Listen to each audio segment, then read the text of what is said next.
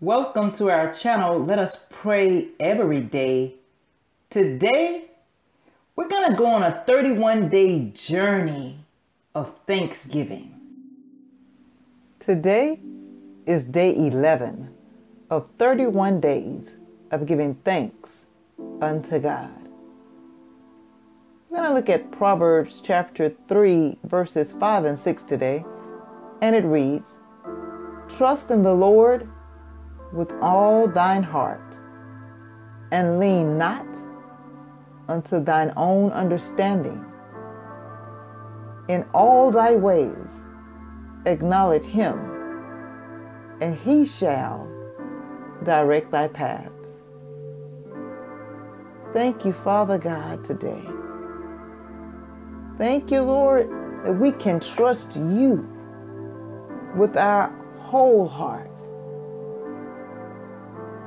Thank you, Lord God, that we shall not fear allowing you to impact the entirety of our lives. We trust you with our lives, for you are a good God. You're a good Father. We don't lean to our own understanding, for we realize that we, we don't know anything, Lord. We need you, Father. So we trust you with our whole heart, with our whole life. That you know what's best for us. You know what we need. Even when we pray for things, Lord God, that, that it won't even be beneficial to us. We thank you that you don't give us the things that we don't need, even though we ask for it, Lord, if it's not something we need, because we don't understand everything, Father. But you know everything. You know the things that we need and what we don't need. So we trust you, Father. We trust you that you have our best interests at heart. Thank you, Lord God. Even when we pray for patience and things we have to wait for, but patience has its once it has its perfect work in us, then we will lack nothing. So we thank you, Lord God, even for patience in our lives. For we know that the result of it is good. We acknowledge you, Lord God, in all of our ways. In every area of our lives, we commit to ask you for help. We commit to seek you. Find out what it is that you would have us to do and obey your instructions. But we know that you are directing our paths. We give you praise for it, Father. Thank you, Lord. You're a good God, and you take good care of us. So right now, we just lift our hands before you, Father, and we just say thank you. Thank you for the path that you have for us. It's clear. We thank you, Lord God, that we trust you and that your word guides us into all truth. So thank you, Father.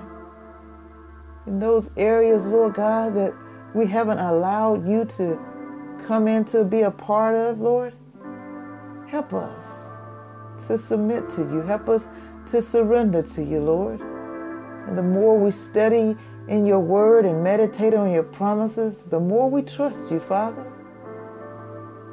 The more we trust you, the more we allow you to come into every area of our lives. So help us to spend quality time with you, Lord. That our trust is developed with you over time. You've proven yourself to be faithful to us. You've proven yourself to be trustworthy. You've proven yourself time and time again, Lord God. Open our eyes that we will see just how much you love us how much you care for us. We thank you, Father. We love you, Lord. We thank you so much for loving us.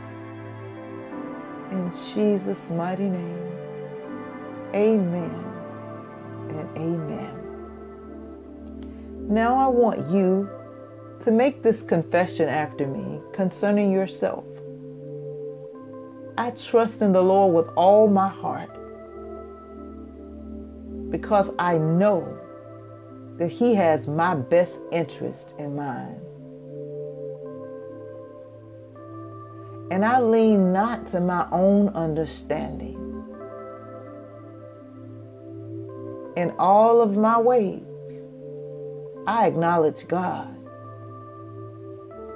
And I thank Him for ordering my path. In Jesus' name, amen. Father, we thank you today for ordering our steps as we trust you, lean on you, and obey you. In Jesus' name, amen. Amen.